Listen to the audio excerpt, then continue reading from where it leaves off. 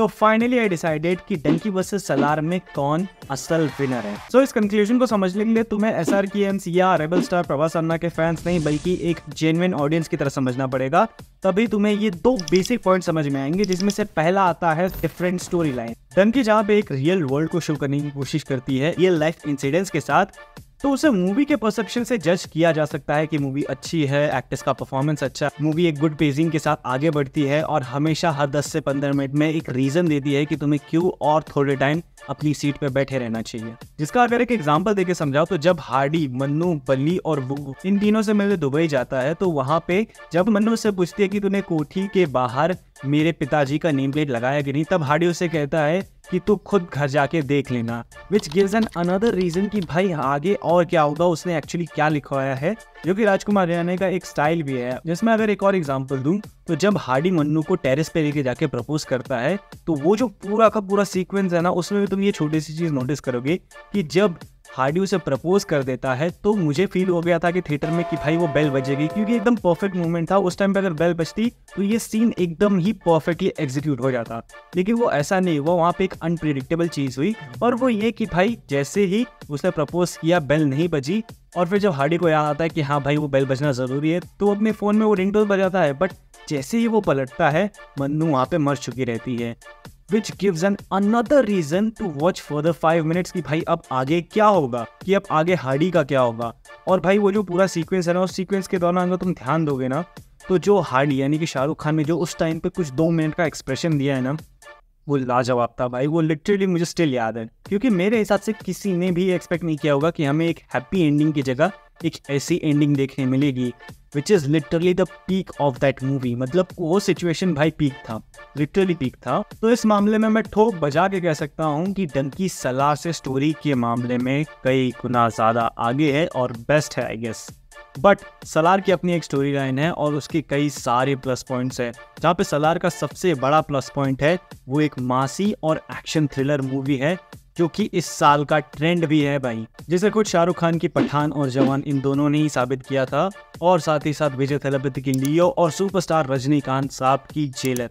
इन सभी ने साबित किया था कि ये साल पूरा का पूरा एक्शन और मास पे ही डिपेंडेंट था। लेकिन एक और चीज़ प्रूफ हो गई है कि भाई, हर भर के मूवी के अंदर एक्शन सीन्स डालने से भी मूवी नहीं चलने वाली है। जिसका बेस्ट एग्ज़ाम्पल है अपने भाई जान की टाइगर थ्री और ये बेस्ट एग्ज़ाम्पल है भाई बेस्ट एग्ज़ाम्पल क्योंकि ये सभी जानते हैं कि टाइगर थ्री का स्क्रीन प्ले और डायरेक्शन बहुत ही ज़्यादा थर्ड क्लास था।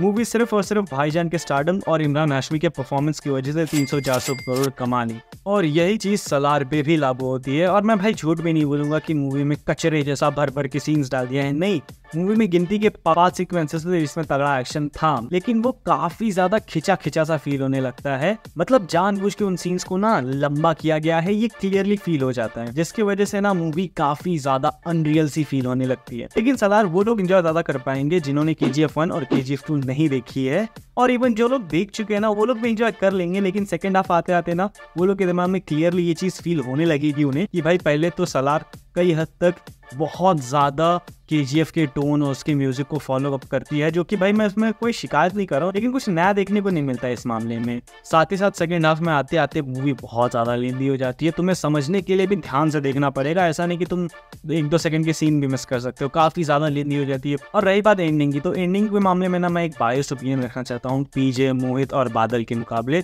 क्योंकि इन तीनों को ही ना एंडिंग उतनी ज़्यादा पसंद नहीं आई थी।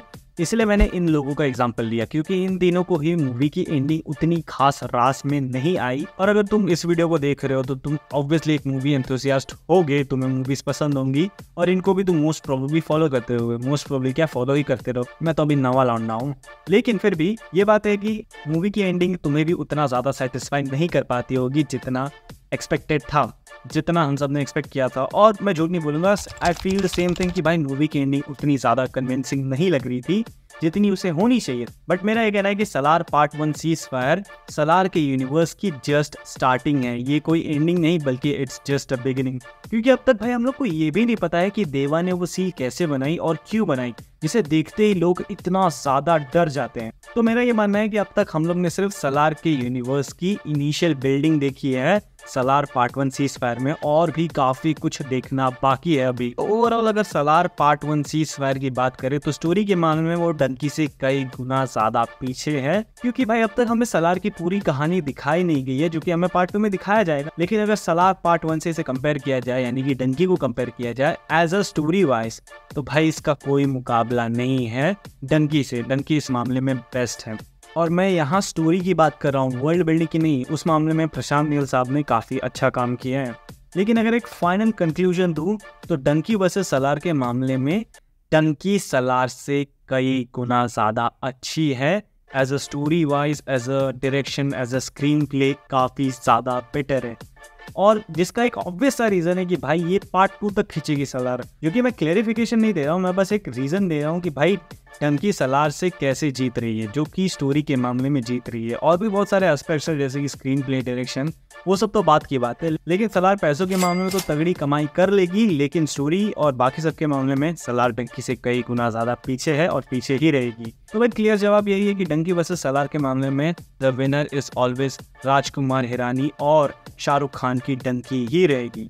और अब आई नो कि सलार और प्रभास के फैंस को बुरा लगेगा बट भाई इट्स रियलिटी यार तुम मानो या ना मानो इस चीज़ को एक्सेप्ट करना पड़ेगा। जिनको मूवीज़ का नॉलेज है, वो डेफिनेटली तुम्हें क्लियरली बता सकते हैं कि सलार और डंकी में कौन ज़्यादा आगे है। तुम उन्हें मूवी दिखाओ, फिर मुझे आगे गालियाँ दो।